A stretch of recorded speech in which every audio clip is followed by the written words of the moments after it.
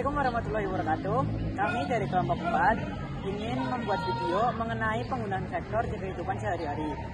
Nah, saya Muhammad Hani Wirayuda, absen 9 absen 20.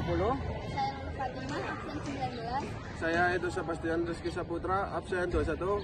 Saya Muhammad Raihan Muhid, absen 23. Saya Muhammad Raflan Firmansyah, absen 22. Saya Nabila Afni Anyalir, absen 24. Dan ini video dari kami. Selamat menyaksikan.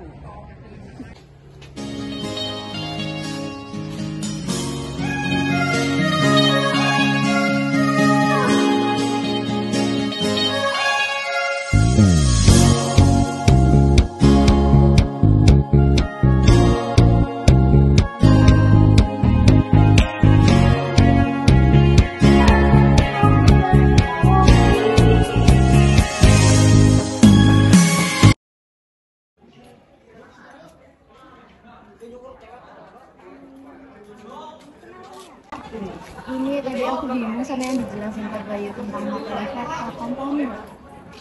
Oh, vektor. Jadi vektor itu ruas garis yang memiliki panjang dan arah. Nah, vektor itu memiliki empat jenis. Yang pertama ada vektor 0, yaitu vektor dengan panjang 0 tanpa arah vektor yang jelas. Yang kedua itu ada vektor posisi, yaitu vektor dengan posisi awal di 0 dan posisi titik ujung di satu titik tertentu selain titik 0. Yang tiga ada vektor satuan, yaitu vektor dengan panjang satu satuan. Yang keempat, ada vektor basis, yaitu vektor dengan panjang satu satuan dan arah yang searah dengan sumbu koordinat. Nah, vektor itu memiliki besaran yang memiliki arah. Contohnya ada perpindahan, ada gaya, ada percepatan, kecepatan, sama ada momentum. Nah, tadi kan Kak Bayu jelasin yang perpindahan. Itu gimana sih?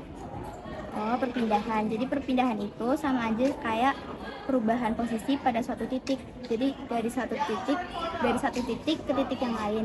Misal dari titik A ke titik B, titik B dari ke titik C atau titik C ke titik D. Nah, contohnya gini. Saat bel istirahat, seorang anak bernama Raihan yang berada di titik A berjalan ke arah titik B untuk menghampiri temannya yaitu Reflan sejauh 3 meter. Kemudian mereka berdua berjalan menuju titik C untuk dapat sampai ke titik D yaitu kantin sejauh 5 meter.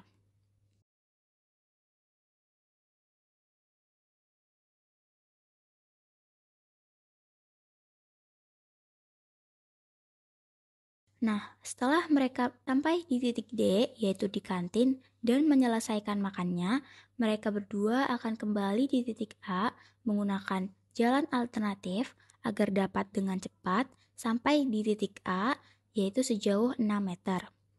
Nah, pertanyaannya, berapa resultan yang telah digunakan oleh Raihan?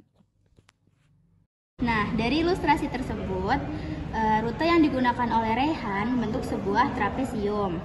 Untuk menentukan resultannya, jadi kita harus menjumlahkan semua sisinya, yaitu sisi AB ditambahkan dengan sisi BC, ditambah dengan sisi CD, dan ditambah dengan sisi DA.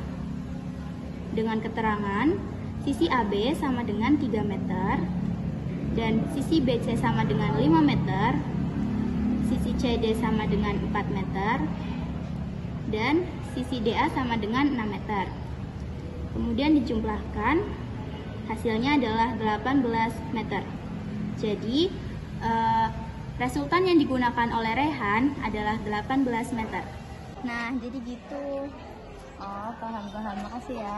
ya sama-sama Kesimpulan dari video ini adalah bahwa kita dapat menggunakan vektor dalam kehidupan sehari-hari.